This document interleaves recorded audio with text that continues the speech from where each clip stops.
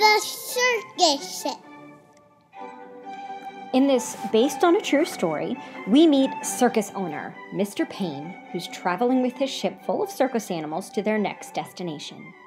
When the ship gets into an accident and wrecks. Listen to what happens as the animals are forced to swim ashore and experience quite an adventure in search of their new home. Today's themes are courage, community, compassion, and cooperation. Today's question is How can you hide so you won't be found? Sit back, relax, and enjoy the show. The Circus Ship by Chris Van Dusen.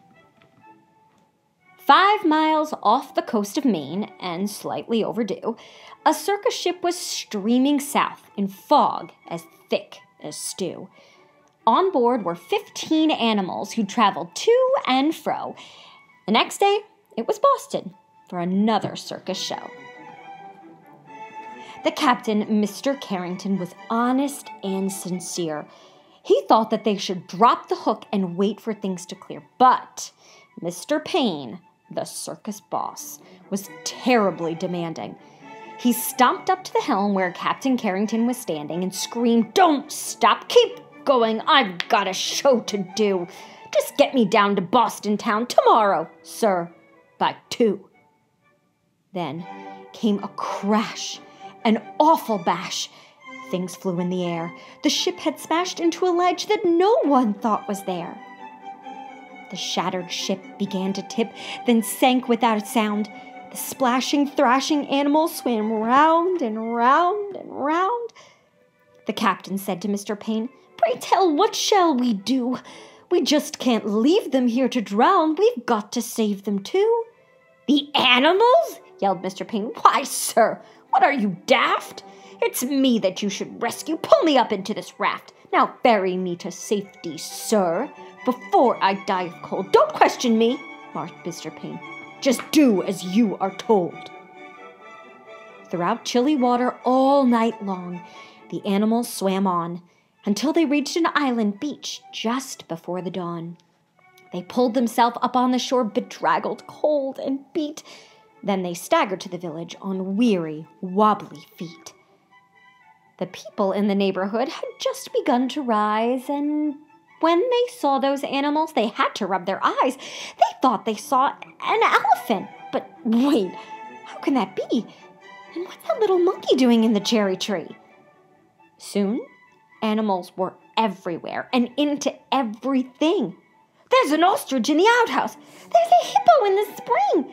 There's a tiger in the tulips. There's a lion on the lawn.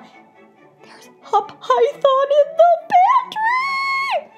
It went on and on and on.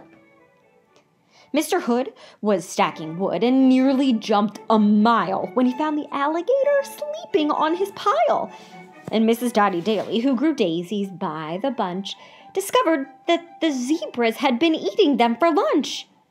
And Miss Fanny Feeney found, according to the rumors, that silly little circus monkey swinging in her bloomers. But everything changed quickly, like the turning of the tide, the night the Abbott shed, shed caught fire with Emma Rose inside. From high above the Abbott's farm, the tiger saw the shed. The sight of smoke and fire triggered something in his head. He jumped through three flames a thousand times back in his circus day. So he ran past all the people and leapt into the blaze. Then everybody panicked. Help! Help! What can we do? When from the raging fire, something big burst into view. It was the most amazing sight, and everybody froze when they saw the little tiger saving little Emma Rose. That tiger's tricky rescue changed everybody's mind. The animals weren't bothersome, the animals were kind. And so they lived together. Side by side, they got along. It didn't seem like anything could possibly go wrong. Then Little Red the messenger came running with the word. Apparently, a circus ship had sunk, from what he'd heard. The animals are from that boat they swam in from the day. The greedy owner wants them back. He'll be here any day. So the people called a meeting and they quickly hatched a plan. No animal that came to shore would sail off with that man. The next day, at the crack of dawn, a ship was at the pier, and up marched Mr. Payne, whose voice was loud and clear. I am the circus owner. My ship sank in the murk. I've come to find my animals and put them back to work. He hiked until he came to the center of the town. His face was red. He was scratching his head. He stood there with a frown. Mr. Payne looked high and low, but still he couldn't see the 15 circus animals of his menagerie. He ran around the alleyways. He searched the village square. He even checked the chicken coop. His animals weren't there. Mr. Payne was all tuckered out. His heavy chest was heaving. Then Little Red stepped up and said, Um, I think your boat is leaving. He ran off in a fit of rage. His ship was leaving sight. He jumped into a rowboat and he rowed with all his might. And from that day, they like to say their lives were free of pain. It was a happy, peaceful place upon the Isle in Maine.